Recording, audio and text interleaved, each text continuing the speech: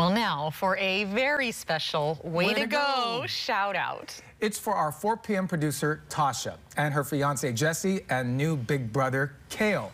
They welcomed their son this morning, Zane Wyatt. Zane clocked in at 7 pounds, 4 ounces.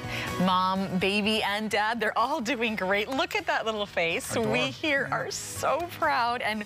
Tasha, and we just can't wait to meet baby Zane. Way, Way to, go, go Tasha. Tasha. Oh, that Cute. adorable face. New member to the KHON2 family. Mm -hmm.